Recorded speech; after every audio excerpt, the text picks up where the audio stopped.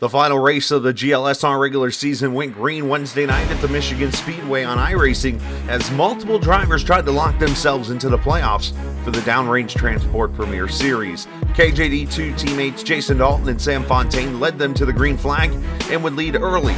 Lap 17, Jason Stewart lost control and hit both the inside and outside walls, bringing out the first caution of the race. This would bring the leaders to pit road. Payton Johnson had other ideas than a four tire stop as he would take no tires and win the race off of pit road. Johnson, along with Devin Ramsey and Lucas Simonson, would pit on lap 40 for four tires and fuel in what seemed like a questionable move. Lap 60, the rest of the leaders came in for pit stops, including leader Stephen Miles along with Laser teammate Alex Bryson.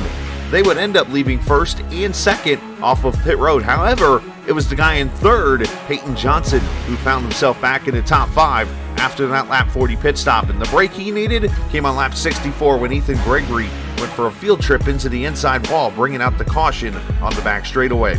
Johnson and others came to pit road, and then with 24 laps to go, Johnson took those fresh tires to the front, passing Lucas Gortman for the lead of the race. A few laps later, Ramsey and Joey Ladisor made contact, with Ramsey spinning on the back straightaway. This brought the leaders back to pit road for a final time as Johnson came out second behind a phenomenal launch by Lucas Strayer out of pit road. Johnson then took the lead back on the restart before Sean Peachin spun in turn two and nearly took Fontaine with him. How close? We'll just take a look at the left rear of the car and notice how Fontaine barely misses the Pizza Hut number 69.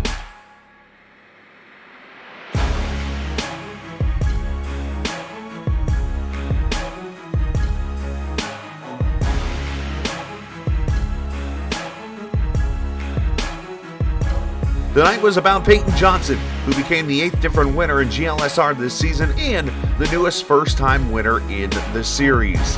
Lucas Strayer ended up second with Jason Dalton finishing third, Tyler Pluff fourth, and Alex Bryson rounding out the top five. After the race, a very excited Payton Johnson shared his thoughts on finally getting that first win.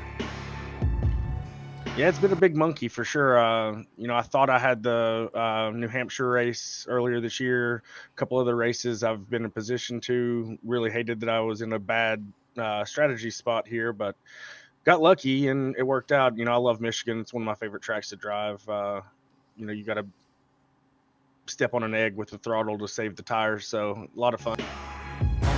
In January, the playoffs kick off at the Texas Motor Speedway. Jason Dalton took the final spot in the playoffs, along with Brian Sutphin. His teammate Lucas Strayer unfortunately fell short. You can catch that race coming up on January the 3rd, Wednesday night at 9 p.m. on the Captain Esports Network.